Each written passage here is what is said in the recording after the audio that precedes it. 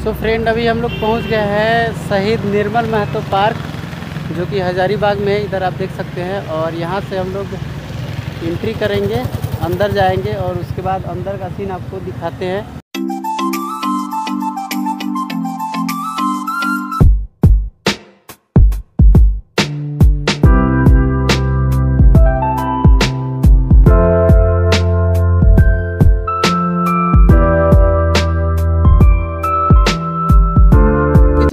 दिखाते हैं और ये मैंने दो टिकट ले लिया है देख इधर।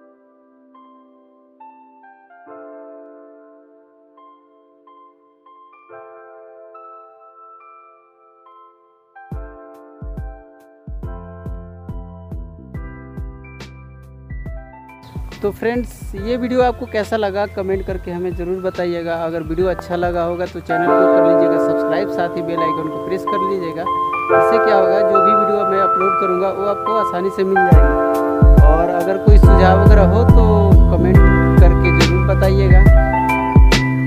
तो जल्दी मिलते हैं अगले वीडियो में। तब तक के लिए बाय अपना ख्याल रखिएगा आप लोग।